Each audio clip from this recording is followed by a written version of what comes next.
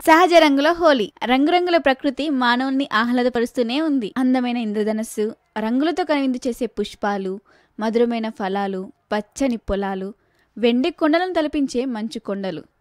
నీలాకాశం అన్నీ కూడా మనిషిని ఉత్తేజపరిచేవే. అందువలనే మానవుడు గెలుపు సందర్భాలను రంగులతో సంబరాలు చేసుకుంటాడు. గతంలో ఈ పండుగకు ముందుగా రకరకాల పూలను మట్టి కుండల్లో నానబెట్టి ఆ రంగు నీటిని పసుపు నీటిని ఉపయోగించి హోలీ ఆడేవారు. శ్రమ పడకుండా తేలికగా దొరికే రసాయనిక రంగులు వాడకంలోకి వచ్చాక ప్రకృతి సిద్ధ రంగులకు గిరాకీ తగ్గిపోయింది. రసాయనిక రంగులు కేవలం పెయింట్స్లో వాడకానికి బట్టలపై రంగులకు పనికి వస్తాయి. వీటిని శరీరంపై వాడటం వలన ఎన్నో దుష్ఫలితాలు కలుగుతాయి. ఈ రంగులు అత్యంత ప్రమాదకరమైన రసాయనిక పదార్థాలతో తయారై ఉంటాయి. కాబట్టి చర్మానికి మరియు మన కళ్ళకి ఎంతో హాని కలిగిస్తాయి. వీటి వాడకం వల్ల ఒక్కొక్కసారి గుడితనం కూడా సంభవిస్తుంది. శరీరం లోపలికి వెళ్తే మన కాలేం కూడా దెబ్బతింటుంది. శ్వాసకోశ సంబంధిత వ్యాధులు ఎక్కువ సోకుతాయి. ఈ రసాయనాలు నీటిలో కలిసి భూమిలోకి ఇంకి పర్యావరణాన్ని మరింత కాలుష్యం చేస్తాయి. ఈ ప్రమాదాన్ని నివారించడానికి ఒకే ఒక్క పరిష్కారం ప్రకృతి సిద్ధ రంగుల్ని పునరుద్ధీకరించడమే.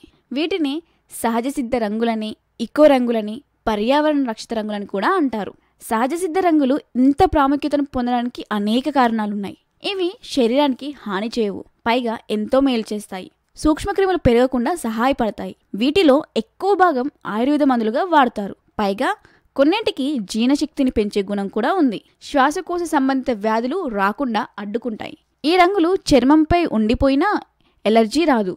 వాతావరణ కాలుష్యము ఉండదు. ఈ రంగుల కలయిక ఆహ్లాదంగా ఉంటుంది. కొన్ని చెట్ల నుండి లభించే రకరకాల పూలు బెరళ్ళు ఆకులు వేర్లు పండ్ల తొక్కలు గింజలు అన్నీ కూడా రంగు తీయడానికి ఉపయోగపడతాయి. పూలల్లో మోదుగ బంతి కుసుమ మొదలైనవి పసుపు పచ్చ రంగుని ఇస్తాయి. గోరింటాకు గుంట కలగరాకు ఆకుపచ్చ రంగుని ఇస్తాయి. జాఫ్రా ఎర్ర చందనపు పొడి చావర్ పొడి మొదలైనవి కాషాయ రంగును మరియు ఎరుపు రంగును ఇస్తాయి. చెట్ల బెర్రెళ్ళు మంచి కాఫీ పొడి రంగును ఇస్తాయి. వాడబడిన టీ కాఫీ పొడి ఉల్లిపొట్టు వంటి వ్యర్థాలను కూడా రంగుల తయారులో ఉపయోగించవచ్చు. ఈ రంగును తయారు చేయడం చాలా తేలిక. యాభై గ్రాముల ముడి పదార్థాన్ని చిన్న ముక్కలుగా చేసి లీటరు నీటిలో వేసి గంట సేపు ఉడికిస్తే రంగు నీరు తయారవుతుంది. రంగులను పొడుల రూపంలో కూడా తయారు చేసుకోవచ్చు. ప్రకృతి సిద్ధ రంగుల్ని వాడుదాం మన పర్యావరణాన్ని కాపాడుదాం.